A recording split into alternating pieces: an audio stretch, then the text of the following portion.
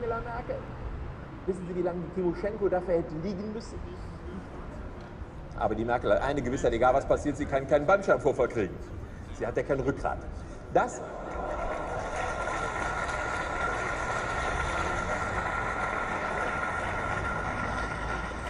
Das beweist sie immer wieder, auch damals nach der Europameisterschaft war sie direkt in China anschließend, da war das Habe Kabinett dabei, die Spitze der deutschen Industrie, denn in China, und das ist das Schöne, da werden die Menschenrechte eben nicht mit Füßen getreten, da werden sie handmassiert.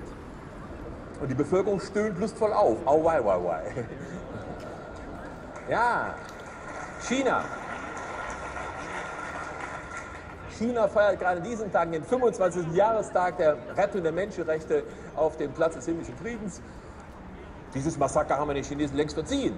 Dass der Russe sich die Krim unter den Nagel gerissen hat, wird eine offene Wunde bleiben für immer.